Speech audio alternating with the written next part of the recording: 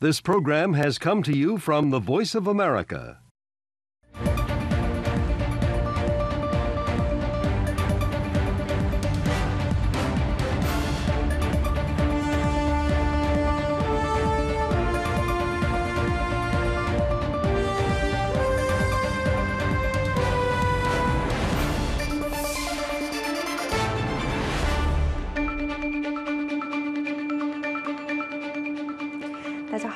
看《美国之音》在二月二十七日为您现场直播的时事大家谈，我是平章。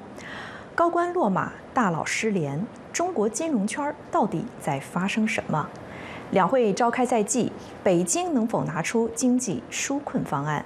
我们今天将邀请专家进行深入分析，也欢迎观众朋友们通过《美国之音》在 YouTube 的直播聊天室与我们互动，向嘉宾提问或者发表您的看法。二月二十四日，河南省纪委监委通报，河南省人大财政经济委员会副主任委员徐诺金涉嫌严重违纪违法，正在接受调查。徐诺金曾任中原银行董事长，这已是该行第二任董事长落马。二月十九日，中国检察机关宣布，原中国银行董事长刘连葛因涉嫌贪污和违法放贷而受到起诉。在此之前，原光大银行董事长唐双宁因涉嫌贪污受贿正式被捕。据不完全统计，进入2024年以来，中国已有十多位金融高官落马；自2023年以来，已有超过百名金融官员被查。与此同时，中国资本圈大佬也接连神秘失踪。二月份，曾经的公募一哥千和资本创始人王亚伟第三次被曝失联。这一次，千和资本首次正式公告回应，王亚伟因个人原因暂不参与公司运营管理。此前被曝失联的资本大佬还包括华兴资本创始人包凡、天弘基金总经理郭树强等人。那么，中国的金融圈到底在发生什么？我们来请教两位嘉宾。我们今天邀请到的两位嘉宾分别是南卡大学艾肯商学院讲座教授谢田博士，以及美国信息与战略研究所经济学者李恒清先生。欢迎二位。呃，刚刚我们提到的这些高官落马和大佬失联，当然首先是跟中国的金融反腐有一定的关系哈。其实金融反腐很早就开始了，到了二零二三年有明显的加码迹象。我看到有一个统计说，最近两年啊，中国平均每三到四天就有一个金融干部落马。谢田教授，您觉得习近平为什么从二零二三年开始呢，要在金融反腐上加码呢？呃，习近平在金融反腐上加码，一些时间。啊，问题一一个问题呢，呃，越来越来越严重。那习近平显然是认为呢，他自己的政策啊，他自己亲自规划、或亲自指挥、亲自部署的一些经济政策呢是对的啊。他认为他自己走的经济方针、走的路是对的，因为他也在那个自自己认为呢，他在引领中国，甚至要引领世界。那那这样的话，他怎么能错呢？这这实际上是也是一种这个独裁者的一个心态。他这个思路，他在这种情况下呢，他他一定是这样想的。但是呢，我们又知道中国经济和金融呢又出了大的问题，并且这个问题看来呢也越来越严重。随着中国这个房市啊、股市啊频频的那个暴雷和崩塌，那他这个金融出了问题的话呢，作为他这个总的指总的指挥在说，呃，他要甩锅，他要把责任推到别人，那他就要需要替罪羊。从这个角度讲呢，他这个反腐也好，反贪也好，呃，反非法放贷呀，这些他都是必须做的。呃，他在做的时候呢，实际上呢，就这个等于在告诉人民，就是说，虽然我是我是对的，但是呢，下面执行的人是错的啊，所以他在会层层加码，试图把这个问题解决。我们看到他最近呢，刚刚把这个金融高的掌门人呢。也用了一个政法委出身的人来担任，啊担任，现在也是这个目的，就是他在金融反腐上加码呢，是为了那个应对现在中国金融出现的越来越严重的深层的问题。不过，现中国的金融啊市场其实跟还有它的特殊性，我们之前在前面的节目当中啊反复谈到过。嗯，金融在金融反腐初期呢，很多分析人士认为习近平会在这个金融反腐当中投鼠忌器，因为金融这个圈子虽然很多啊是中共权贵的白手套，但他们往往不是一家的白手套，而是同时是很多家的代理人，所以动金融圈也就意味着会同时动到很多红色家族的利益。那如果习近平搞选择性反腐，他又摆不平这些利益纠葛的话，就会触发一个反习联盟的形成。我们还记得当年的这个安邦的案子、海航的案子，我们就有很多这方面的讨论。那李恒清先生，你觉得这些年观察下来，您觉得习近平有没有在顾及这件事儿呢？呃，原来应该有，但是现在越来越不顾及了。呃，比如啊，最早的时候，所谓的金融上出问题的时候啊，最早的时候就像这个中小银行倒闭。那典型的案子就是包商银行啊、锦州银行啊，那个时候呢就开始啊抓人，并且呢让这个工商行、中行啊出来接盘。那个时候盘子不大，所以呢接呢也接得动。但是现在呢就不一样了。二零一五年那个股灾，习近平就认为啊是有人故意的在搞破坏，所以就抓人。实际上啊那个时候那个股灾之所以产生啊，那是他习近平和李克强他们两个人忽悠股民。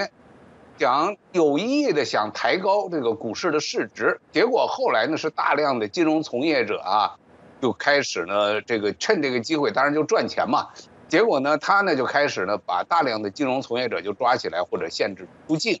那个时候所谓的这个反习联盟哈，其实呢已经是无所作为，已经无所作为了。到后来这段时间我们再看这个 A 股这一次崩，换人。哎，实际上中国已经进入到了一个多米诺骨牌倒塌的状态，应该说叫系统性的崩塌。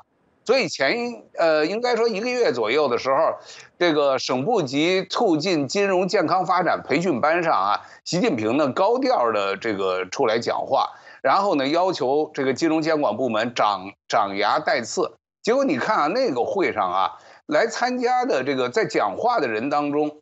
至少中央中央的这个 CCTV 的这个联播上报的，没有一个是金融的专家，没有一个是这方面领域的权威人士，没有，是谁在那主讲啊？是蔡奇。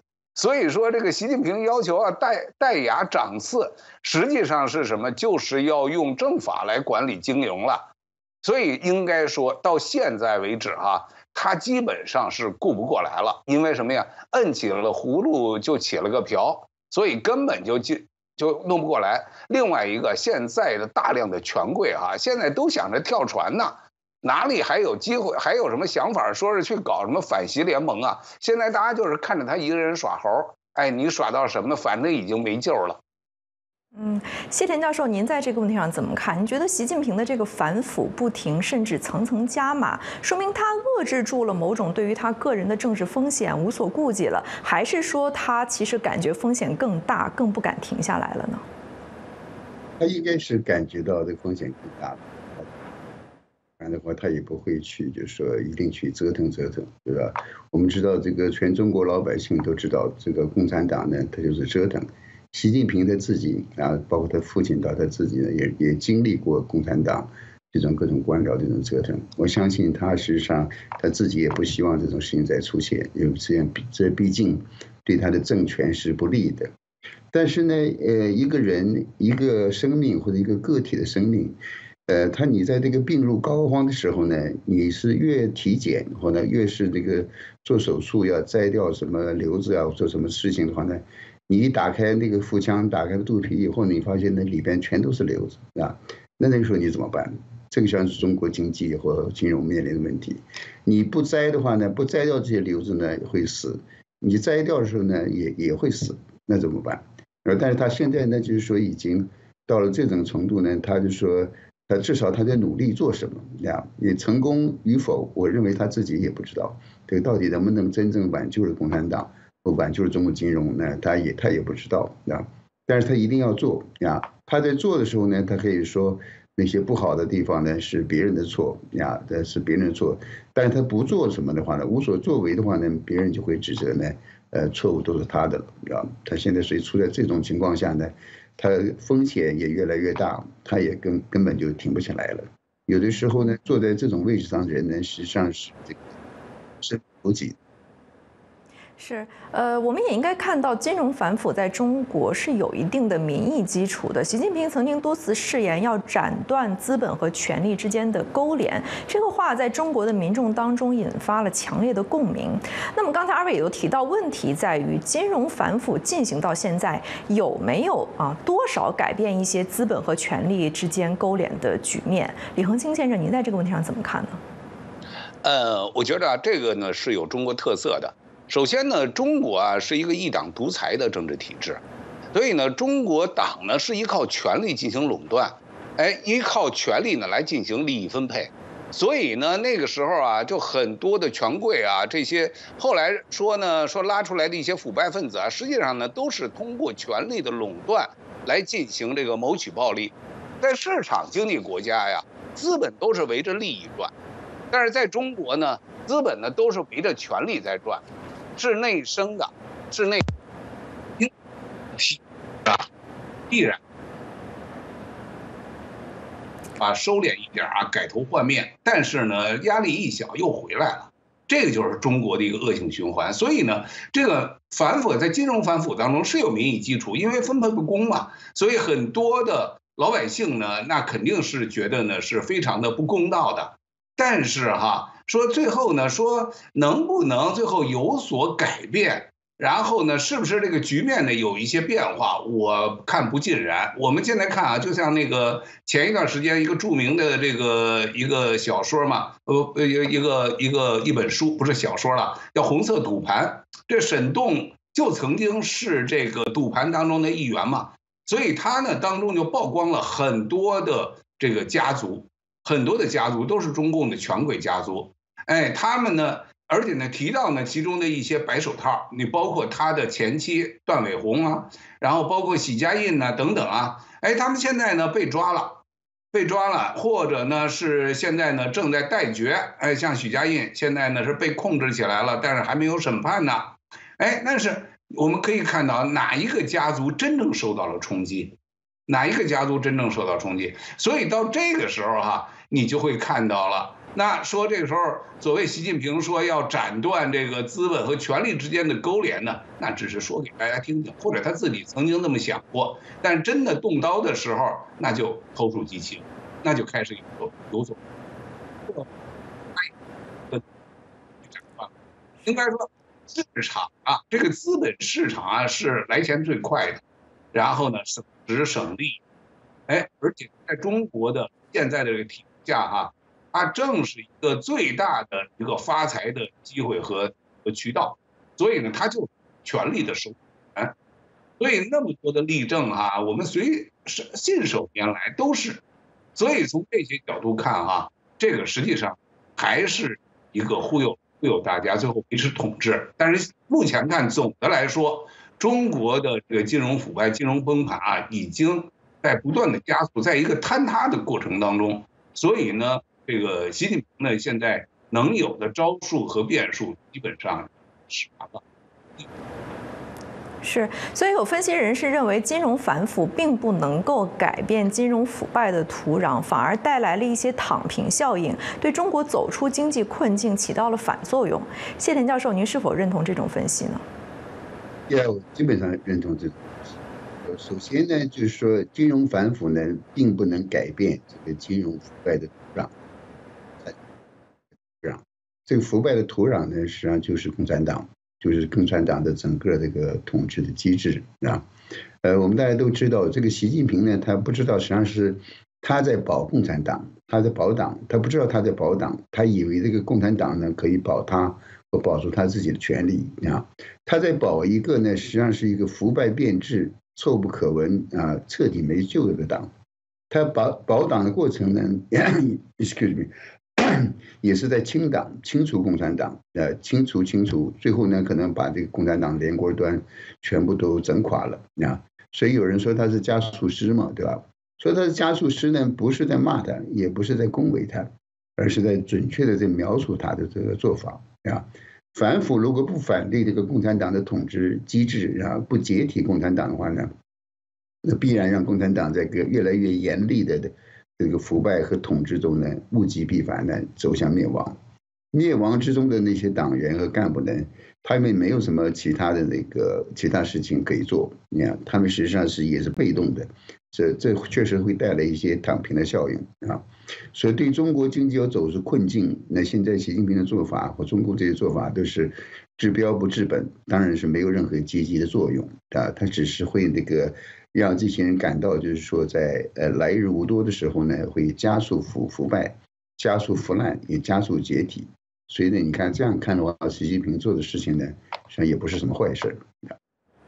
我们有一位叫做“尸骨无皮”的 X 网友留言说：“中共的商人高官个个都像鸬鹚，就是鱼鹰哈，脖子被党拴着，一辈子拼命的替党抓鱼。”就只能吃党享受过的残余。现在好像能干的鸬鹚都精疲力尽，没有利用价值，被宰的差不多了吧？剩下的除了擅长叫叫，会抓鱼吗？李恒清先生，你怎么看待这样的一个比喻？嗯。呃，我觉得挺形象啊。不过他呢，把这个中共高官呢说的还好了一点哈，说这个这个勒住了脖子，然后呢只是吃点残羹剩饭哈。呃，当然主体呢还是还是被这个这个党国拿走了。呃，但是呢，实际上咽到他们肚子里的这个。这可不是残羹剩饭，尤其是相相比于我们这些生头小民啊，那他那个都是什么呀？都是天文数字啊！我们像可以看到，像这个赖小民原来的这个华融吧，这个这个金融管理公司，他这个董事长，那光包养情妇就一百多个，而且集中起来集中管理，在一个住在一个小区，对吧？你想那都是钱呐。那都是钱，那都多少钱？都是富可敌国的钱，所以那个也是鱼鹰勒死脖子，最后咽下去的一点惨。所以这些人哈，应该说，这个最后收拾他们呢，实际上呢是没有一个是冤枉，没有一个是冤枉的。所以呢，我想啊，这一点呢也毫无疑问。所以刚才说，啊，普通老百姓感觉到解解恨呐，很解恨啊。可是呢，说光解恨没有用，中国呢最后要想往前走。还是要解制度性问题，最后点。是我们这位网友还提到，就是说，呃，被宰掉了这些鸬鹚之后呢，剩下的都是只擅长叫叫，不会抓鱼啊。这个弹射到我们刚才说到的这个官员躺平的问题。那从另外一方面来讲，我想继续请教李恒清先生，如面对中国现在的这样的一种经济的现状，您觉得北京有没有可能会在二零二四年放松金融反腐的力度呢？不太可能。应该说呢，习近平啊，现在叫做什么呀？叫做有病乱逼。他现在啊，就是抓住一条就干，过两天啊就干不下去了，别的问题又上。现在怎么说呢？他现在就是什么呀？就是摁下个葫芦就起来俩瓢。所以呢，现在是是问题太多了，所以他呢摁来摁去啊，他就忘了。所以呢，大家都说啊，习近平呢是著名的烂尾烂尾地。哎，他这个事情干一段呢就烂了尾，那个事情干了一段就烂了尾。因为典型的像上海，他刚上台的时候，上海的这个这个自贸区，对吧？没过两年，最后就实际上已经烂尾了。他不承认，然后就在中国呢又一下批了七个，对吧？所以呢，像这样的事情啊比比皆是。所以在现在这种情况下啊，金融反腐呢实际上是跟他现在的一个特殊的环境。所逼迫的，为什么没钱了？从中央到地方啊都没钱了，所以他认定这钱都跑哪去了呢？他说都被这些金融的这些大佬们给他吃掉了。哎，刚才说都被那些鱼鹰给吃掉了。哎，所以呢，最后弄得他现在想花钱都没有了。但实际上，这个现在啊，真正的问题是百孔千疮，而且呢，现在是屋漏又逢连阴雨，所以他后续啊肯定是顾不过来。他要又要抓权，然后很快呢，我估计啊也就收了，就是在混日子。这就让我想起来啊，那个时候在明末的时候啊，崇祯皇帝，那个时候呢，这个李自成已经打到这个昌平了，哎，很快就要进入德胜门了，所以崇祯皇帝就急了，说那个时候说现在军民啊一块儿来保卫明朝，保卫大大明的江山，所以怎么办？所有的人要动员官兵啊，这个。民民老百姓啊，都上城墙去守城，但是需要有军饷啊。这个时候呢，国库已经拿不出银子来了，国库最后搜来搜去，拿出来二十来万两银子，根本不顶用，怎么办？他就说找皇亲国戚要，结果呢，这些皇亲国戚啊，个个在这个金銮殿上哭穷。最后呢，这个他的国舅说呢，他捐出来认捐五万两这个白银，然后呢，回家就把他家家具都拿出来在街上卖，说呀，要卖了这些家具呢，帮助皇帝呢来帮助崇祯皇帝来守这个北京城。哎，结果啊，大家一看啊，说全绝望了。哎，根本就没有钱，也没有没有能力来守了。最后呢，城破了以后，李自成的这个这个起义军啊，跑到这个国舅家一搜，最后搜出来将近三十三百万两黄这个白银。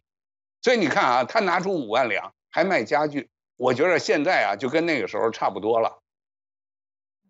所以中国在二零二四年还在重复这个封建王朝的这些故事，也是令人感到非常的唏嘘哈。那刚才二位都提到说，习近平现在这个金融反腐是有点病急乱投医，但是我还是想进一步的探讨一下，这背后有没有一些意识形态的东西？因为习近平反腐的目的之一是，刚才两位也提到是要加强对金融的统治权，在集中了统治权之后，他到底要把中国的金融往哪个方向带？这其实关系到。到习近平自身的金融观，最近中国从中央到地方都在组织学习去年十月底的中央金融工作会议的精神。那外界认为那次会议是对习近平的金融观的一次比较系统的整理。谢田博士，您觉得习近平金融观的特色是什么？他对金融的理解和他的前任们是否有所不同呢？呃，应该是没有太多的差别。但是我还仔细看了一下这个习近平的所谓金融观啊。他比方说，他说希望这个是成为一个金融强国，金融强国呢应基于强大的经济基础啊，要有什么领先世界的经济实力、科技实力和综合国力。他说还要具备一系列关键的核心金融要素啊，有强大的货币、强大的中央银行、强大的金融机构、国际金融中心和金融监管，还有金融人才队伍啊。但是我们知道，他他说这个是明明在说美国嘛，那实际上是说的是美国，他希望成为一个美国这样一个金融强国。但是呢，你他一边说他自己要把一个呃要建立强大的国际金融中心，的同时呢，刚刚把一个香港一个真正的国际金融中心呢给摧毁了。所以你看，他就说共产党人他这个想的是一套，希望是一套，他做的是另外一套。但形容习近平他自己呢，我认为他实际上是从一个，呃，他的自己的这个教育啊或工作背景来看呢，他对这个金融实际上是还有有一定的抵触，他并不是真正相信这个现代金融啊。他比方他提到他谈金融管理，他提到说金融是国家重要的核心竞争力，他认识认识到这个确实是很重要的一份啊，呃，重要的一部分。他也认为金融安全呢是国家安全的重要组成部分。啊，呃，金金融制度呢是这个基础性的制度，啊，呃，这些认识都是不错的，这都是对的，对。但是同时呢，他马上又说了一句，他说我们要，所以呢，就是因为这样，我们才要加强党对金融工作的领导。这个问题就来了，啊，呃，还有一点呢，他我认为他呢对这个现代金融呢，呃，可能还是缺乏一些真正的了解。他实际上他说金融呢要要紧紧紧围绕服呃服务实体经济。解就是它实际上是完全就是说，不知道金融业作为一个服务业本身呢，它自己本身就是一个行业，而是它对它来说呢，应该是这个围绕着这个实体经济来服务的，对吧？所以他对这个金融的理解呢，实际上是，呃，又期望有像美国一样强大的一个金融强国啊，但又害怕这个金融的这种流动性和这些风险啊。呃，实际上这个金融这个事情本身呢，他就是他就不喜欢党的领导，共产党呢就要习近平要加强党对金融工作的领导，金融或者这个资本呢，他恰恰就是不喜欢港党的领导，不喜欢任何人的领导，是吧？而金钱的本质我们知道，实际上是这个德行和德心，心就是心香的心啊。那有德才有钱啊！你说共产党净干这种缺德的事儿，他怎么会有钱呢？啊，比如他跟钱实际上是过不去的啊，他整天又想着要抢钱啊，呃，那钱的话可能也不跟共产党就是去玩儿，对吧？就是他实际上一边一边希望一个用按着这个尊重金钱流动的规律，在这个成为一个金融强国，成为美国啊，但同时呢，他做的话呢，又做的是一种就是说倒退，就是说让这个种让共产党权力来深深介入金融，呃，你可以说他就是说，呃，像打着左左转的灯要向右拐，实际上或者打着右拐的灯向左拐，基本上就是这样。李恒清先生，您如何评价习近平的金融观当中展现出来的这种矛盾性？那从更宽泛意义而言啊，呃，金融市场一个健康的金融市场，是否跟中国社会曾经的那种权贵资本主义和习近平口中的这种社会主义，其实都是不兼容的？嗯，应该是这样。我我应该是基本上我都同意这个谢田教授的刚才的这个分析哈，在关于这个。习近平的这个金融观，呃，首先呢，他讲的什么这个强国那个强国，这个货币也要强大，然后体系也要强大，然后各方面的这个服务能力也要强大。其实呢，那个就是什么呀？就是梦话，他就是一个梦话。我就是他老愿意做这个所谓的中国梦嘛，所以我想呢，这个确实对他这儿呢就是非常合适，确实就是呓语，就是做梦的话。但是呢，中国这个习近平呢，真正他的这个金融的核心啊，我帮他，我也去学了这个学习了他这个这个讲话，呃，我帮他总结了，我觉得就是三个方面。第一个呢，就是加强党的领导，党要领导一切，党要领导金融，所以呢，这一点呢是他的一个核心要义，一切都是从党领导这儿来开始，那就是最后就是他领导。当一个国家最后都变成一个人领导，行行业业、方方面面都是听命于一尊的话，你想这个国家会是什么样子？即使他是上帝，他有那个这个无所不在的能力，那也顾不过来。所以，何况他呢是个普通人呢？所以，我想呢，这个呢是他的核心。另外一个呢，他的这个讲法叫什么？叫做脱虚向实。他实际上呢，他觉得这个东西脱虚向实，这个东西是他的一个新的发现一样。其实呢，错了。哎，现在刚才我觉得这个谢田教授讲的很好啊。这个实际上金融行业自身啊，它也是一个行业。哎，它不仅要服务于其他的行业，服务于实体经济，它自身啊要想能够健康，那它自身有自己的发展的趋势和发展的方向。哎，它也会得病。所以呢，那这个过程当中呢，所以才在华尔街就产生了很多的这个，比如像衍生产品啊，这个服务性产业呀，包括次生的呃这个次贷的这种这这样的这种产业，最后使得它越做越活。当然这里头有内在的这个风险，所以呢，最后在风险出现问题了以后，也曾经发生过二零零八年底的这个次贷危机，引发了全球的金融危机。但是呢，它有一个很强的一个自身的一个自身的一个规律，规律性的这种这种解决问题的办法。哎，你看，从二零零九年开始以后，中国呢，呃，这个美国呢，十几年，这个整个金融市场都是在一个基本健康的一个状态发展，跟中国比就没办法比了嘛，对吧？第三一个是他现在最担心的，那就是第三条就是什么？就是防范和化解金融风险。因为现在啊，他这金融风险都等到现在要爆棚了、塌下来了，他才开始意识到，其实金融风险我们都谈了好多年了，对吧？中共中央就根本就不意识到，为什么？他们还在想着闷声发大财，还在想着东升西降呢。所以呢，这个是这三方面啊，是目前习近平的所谓的金融观。但是呢，他一个他是陈旧的。是过去的陈旧的，不知道谁给他灌输的，没准李道奎啊什么的。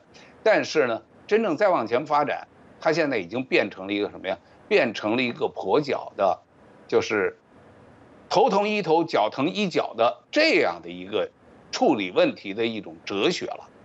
所以呢，这个东西走不长。但是我们回过头来比较西方的这个金融市场哈，它呢金融市场啊需要几个方面。第一个最最重要的是要具要有一个完备的公民社会和公民意识和公民群体，这些从业人员哈和监管部门啊都是专业化的，而且是什么是自律的。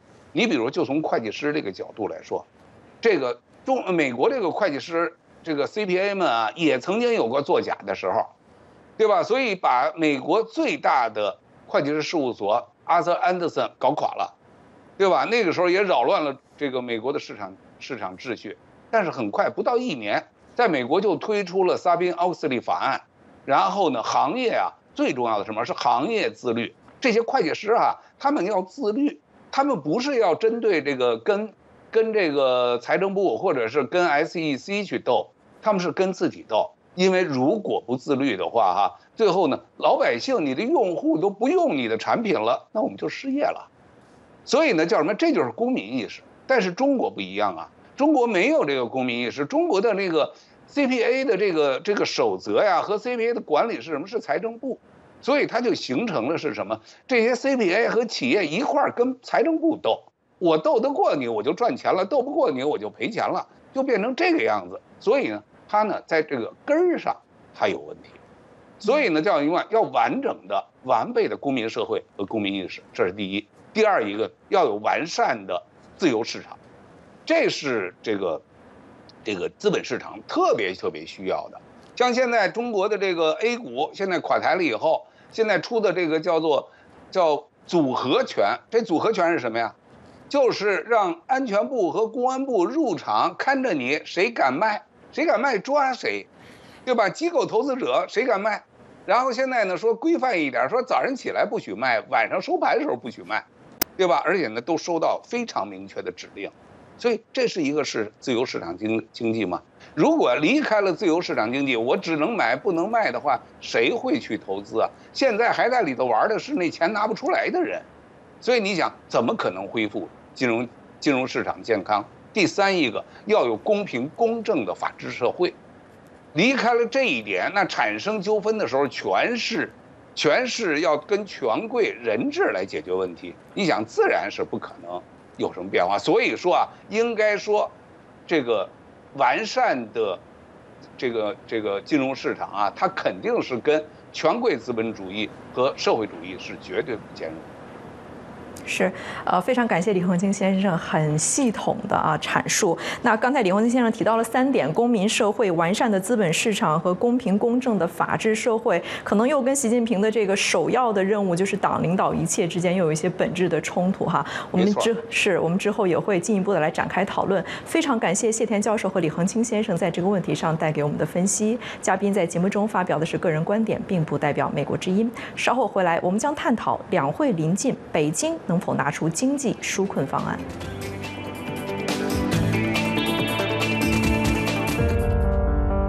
在变化的时代，世界似乎充满不确定性。我们所闻并不反映我们所见。我们寻求事实真相。当我们只被告知故事的局部时，我们失去了信任。在危机时刻，我们的梦想、希望和期盼明天更美好的祝愿，赖于新闻自由。在美国之音，我们为您带来的报道，是人们冒险去观阅的。我们把世界连接在一起，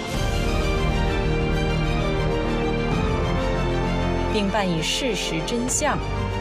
在美国之音。我们向您展示完整故事。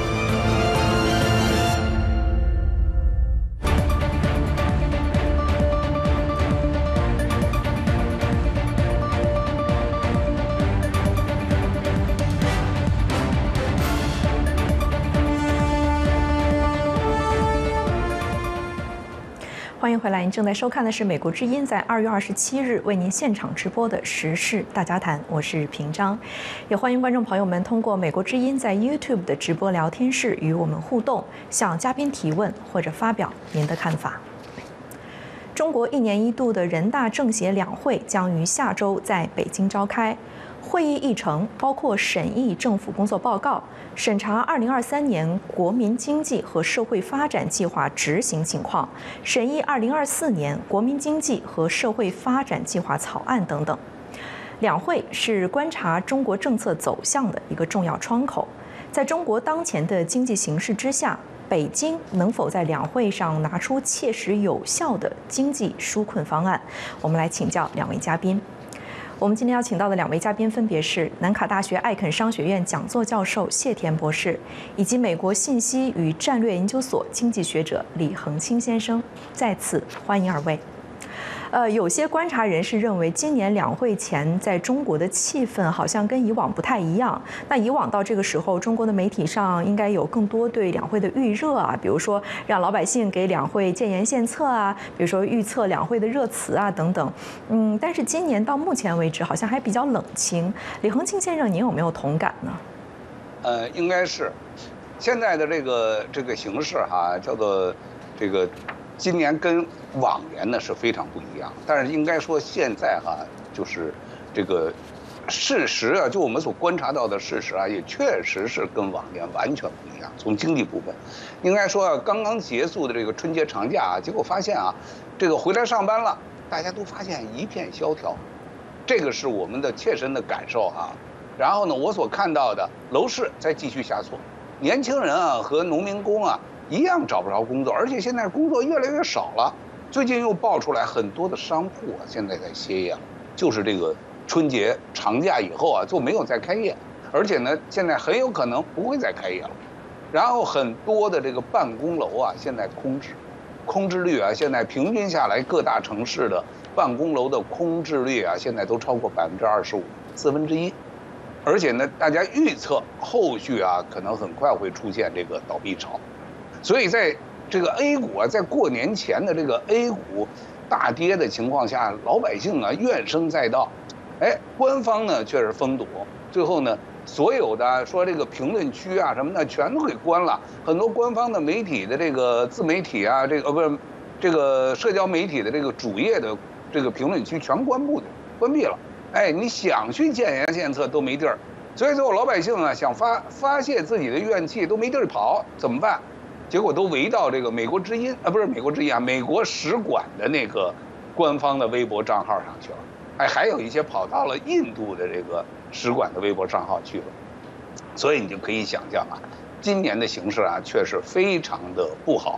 哎，但是呢，官媒呢现在就还在坚持畅想中国经济，尤其是我们看到这个新年的这个习近平的讲话嘛，最后最后还说风景这边独好。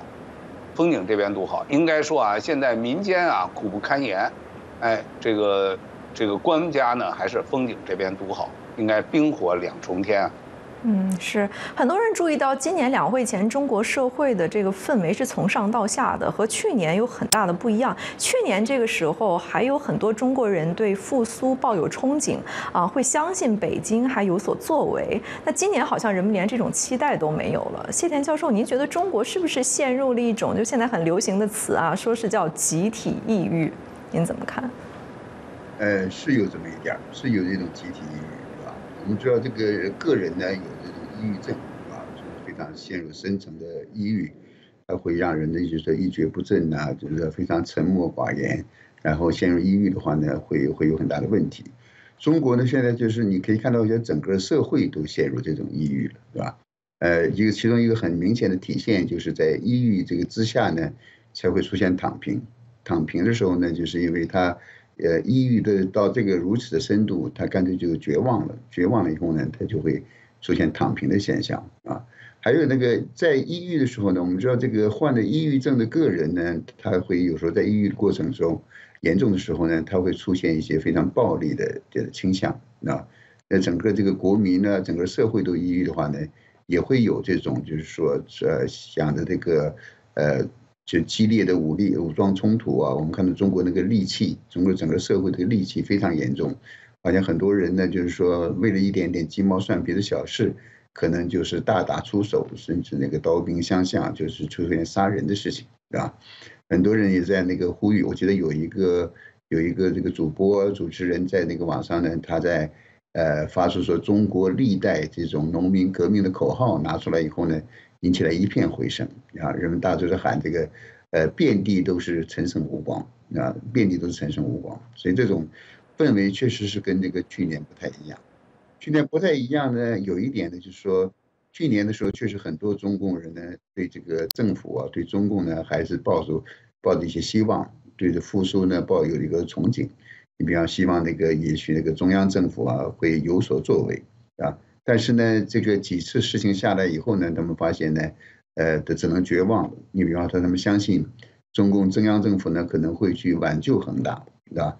呃，这个恒大这个整个重组啊、谈判、重组破产谈判，呃，持续了一年多以后呢，还是没有出手，北京也没有出手，最后呢。任由这个恒大现在进入破产程序，是吧？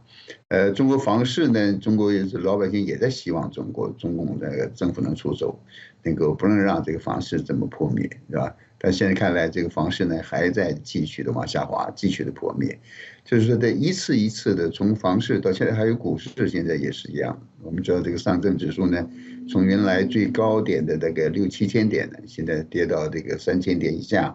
那现在这次呢？呃，中共也一直，他中共一些出手，有些有限的出手，调动国资国有资本的时候呢，老百姓也发现呢，实际上对他的股市呢，只有这个短暂的那个抬升作用，那真正的趋势呢，它还是遏制不住，并且这些在这些股市的高位进场的这些普通的散户，他们可能在四千点、五千点的时候购买的，现在在这个三千点，对他们来说呢，没有任何希望，他也不能会把丢掉的钱弄回来。所以大家都觉得这个中央政府呢，北京呢也是无能为力。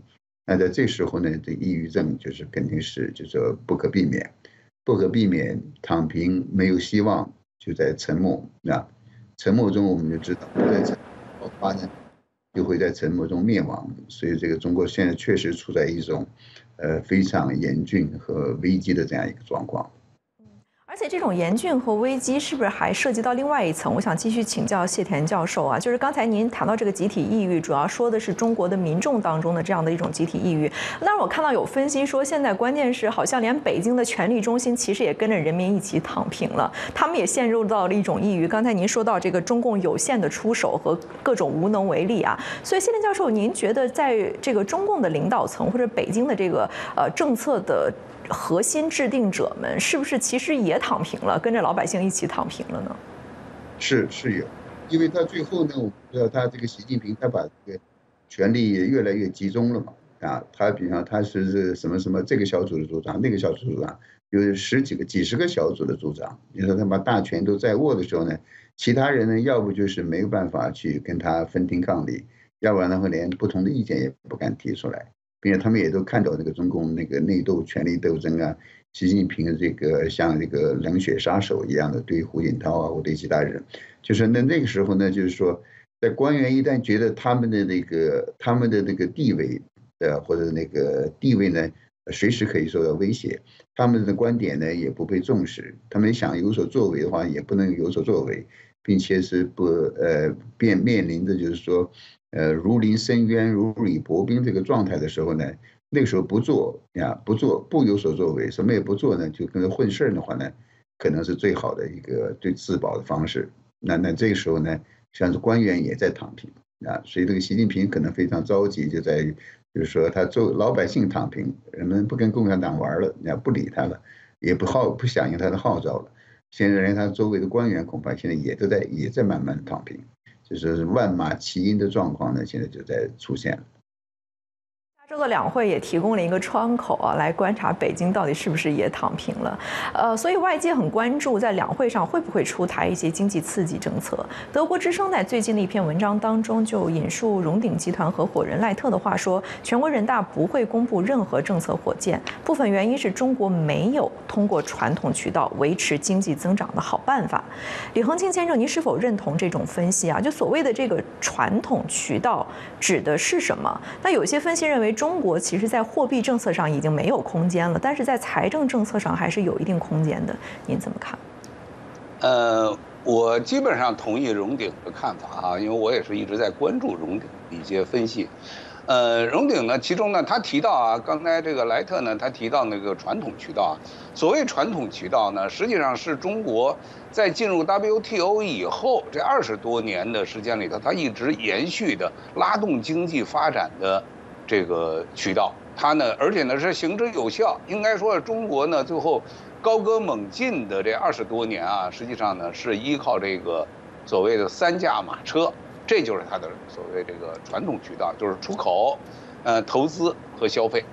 现在呢，这三驾马车啊几乎都熄火了。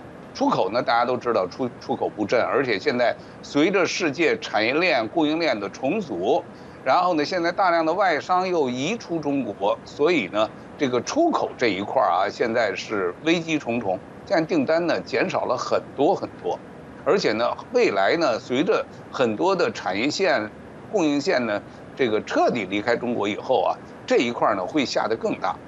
另外一个呢，大家都知道呢，就是消费这一部分。中共呢，现在呢，政府呢想尽了一切办法，各地从中央到地方啊，想尽办法，然后从补贴呀，到各种各样的什么这个购物券补贴呀，这些办法都想尽了，想了招儿，都想想想绝了。哎，但是呢，老百姓就是把不钱不把钱拿出来消费，所以这个呢就是一个大的问题了。然后投资，投资呢现在呢完全是靠这个政府投资。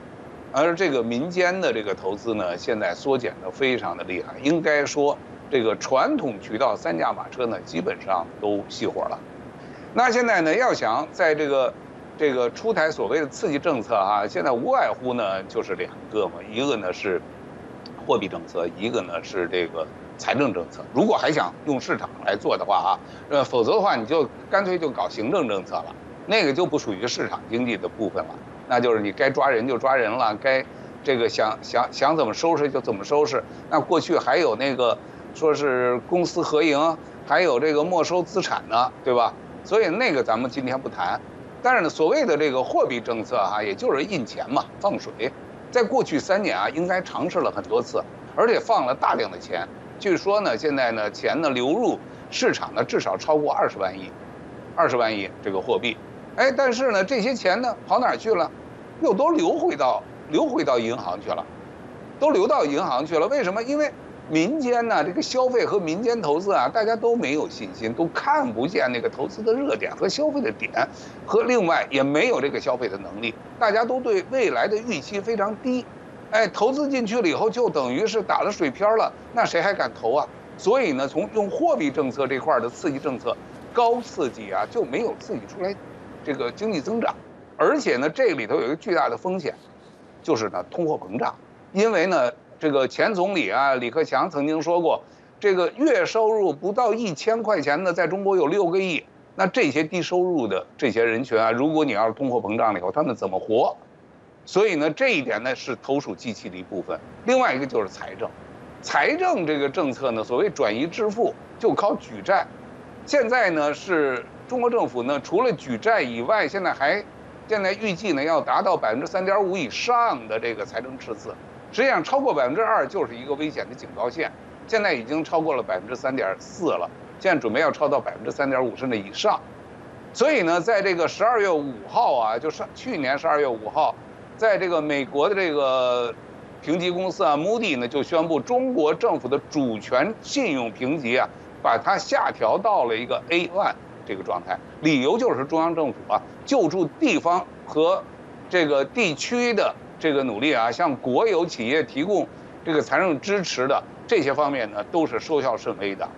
而且呢，目的呢，把香港的这个主权的这个评级呢，从 AA 酸，最后呢也给它降了，把它的展望呢，这个从这个稳定转到到负线，呃负负面了。应该说呢，这个增加了融资的成本，就使得发债呀。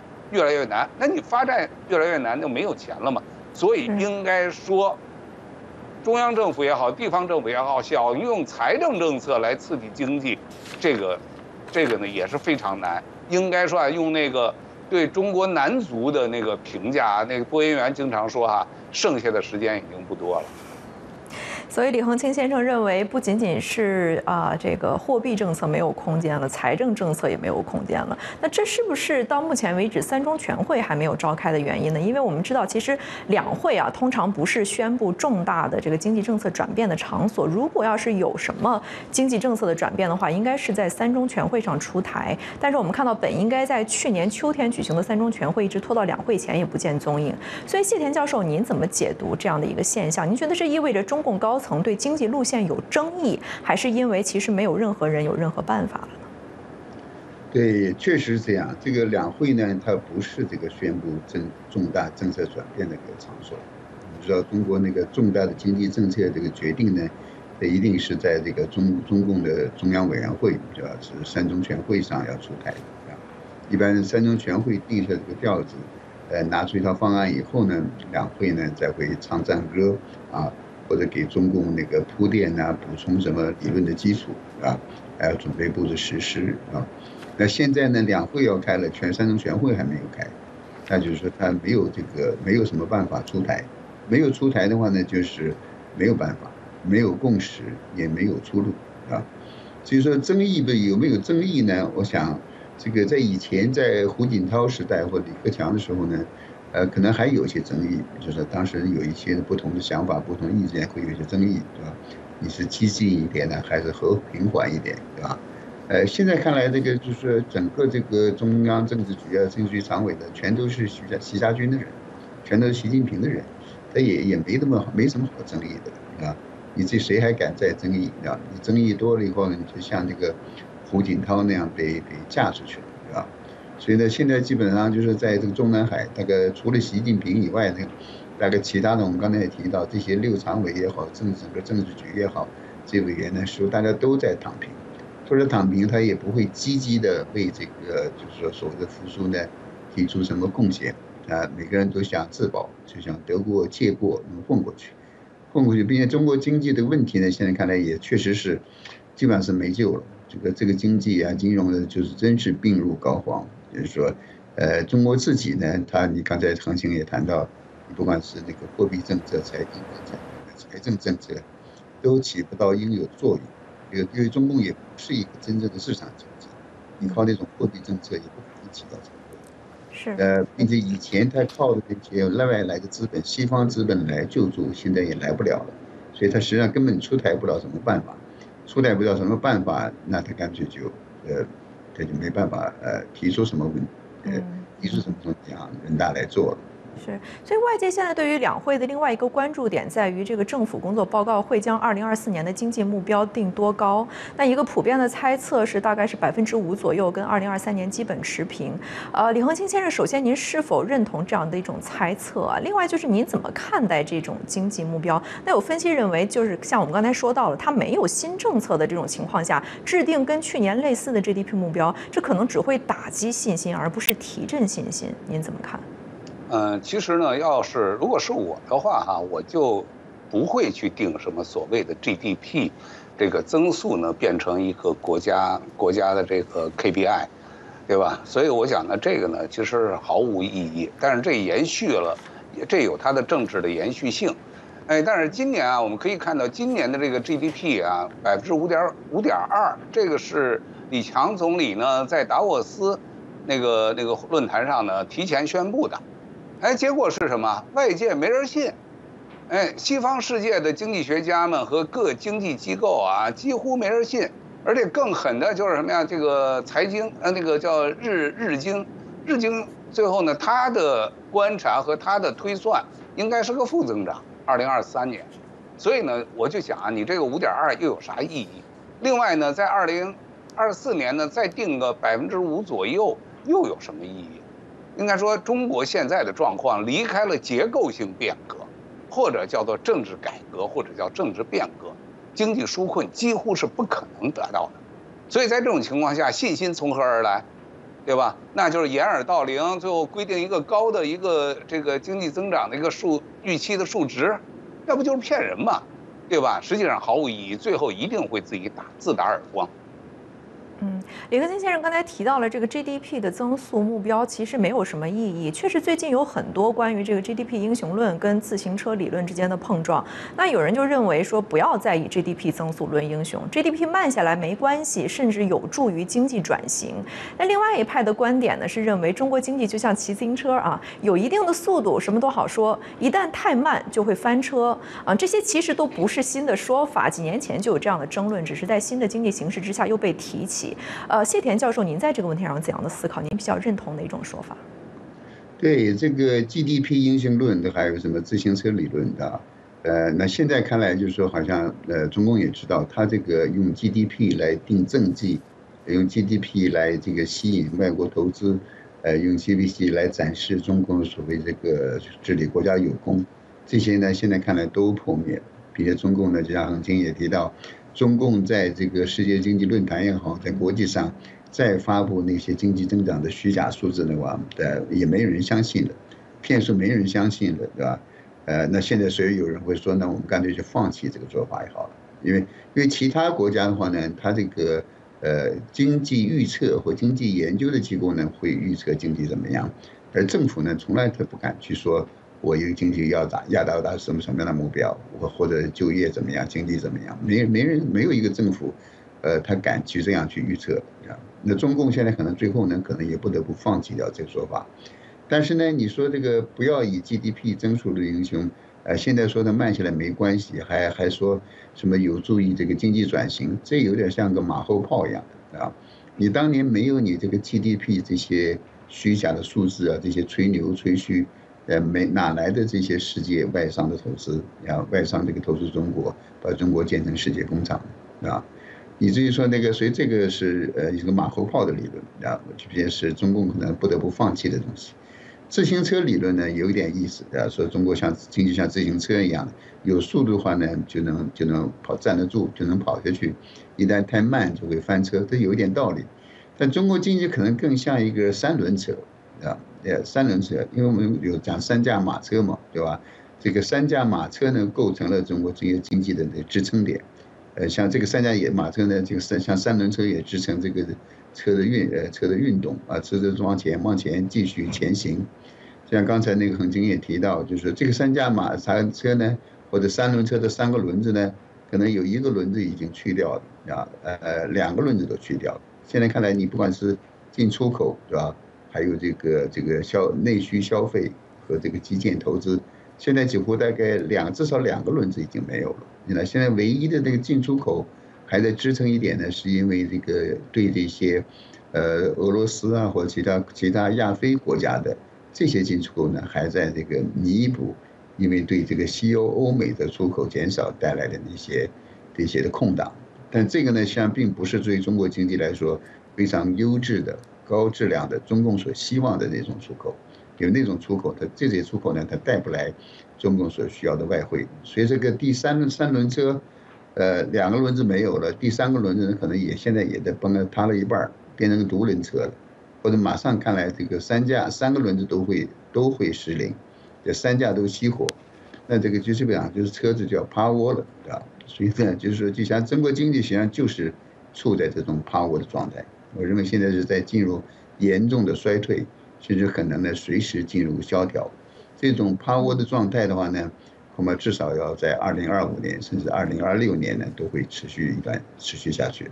嗯，我们有一些 YouTube 的网友啊，也在节目的过程当中给我们留言。一位叫做领梅的 YouTube 的网友留言说：“现在这种沉闷的政治气氛，经济不可能好得起来。要想经济好，政治气氛也必须宽松啊。”我们刚才两位嘉宾也谈到。还有一位叫做记录的 YouTube 的网友说：“地方政府负债累累，哪里还有钱做什么？开个会也是应付，大家都在造假作秀的玩家啊。”确实，我们看到中国在这个召开两会之前。各个地方政府也召开了自己的两会，那也公布了二零二三年经济发展的成绩单，还有二零二四年的 GDP 目标。那官方的数据显示，中国三十一个省级经济体当中，有十七个都没有能够达成零三年的 GDP 目标。那在二零二四年，他们给自己设定的目标啊，几乎所有的地方经济增速都低于去年，或者是与去年持平啊。所以，李恒清先生，您觉得现在这个地方政府是不是也开始趋于保守了，已经不想再参与玩这个这个吹牛的游戏了？呃，应该是这样，但是呢，不吹吧，就是官位就不保了。现在呢，总书记要求他们去吹，所以他们想尽一切办法去讲。所以从中央到地方都是一样的。你像这个李强总理，那时候在这个去年的两会，就是说嘛，这个这个记者问他，现在人口已经今年第一次公布出来是负增长，哎，那现在您怎么看？他说我们的人口优势没有了，我们有人才优势，你这不是胡说吗？我们的人才优势在哪儿呢？那么多的年轻的大学毕业生是不是人才？当然是人才。你没有工作给大家做，我们的人才优势怎么用啊？另外呢，到达沃斯，他说呢，跟人家讲说，我们现在中等收入人群啊有四亿多，超过四亿，十年以后要超过八亿。我们这么大的一个市场，你们赶紧来吧。我们真正的情况是什么？